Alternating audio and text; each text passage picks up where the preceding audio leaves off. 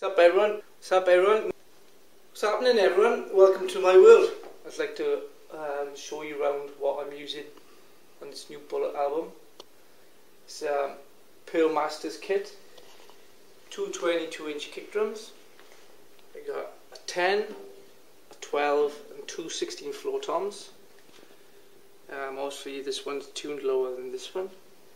Um, cymbals, I got my Zildjian A Customs with my my K crash which I use live.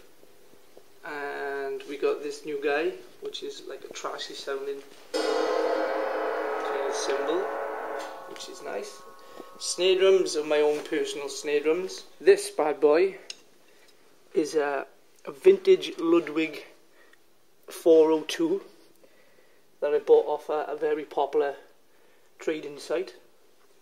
Um, that's great. That's my personal one. And if you come over here, this also is my personal Ludwig Vintage Black Beauty. Gold dust. That's it. That's all I gotta say. And I brought my my Brady's, so I pur purchased when I was in Australia. Sorry, I'm shaking because it's so heavy.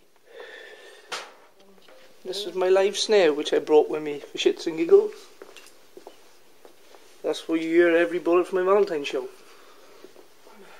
Here's Lodja. Take your pick, sticks. Boom. And um, that's what I'm using on this new bullet record, so check it out.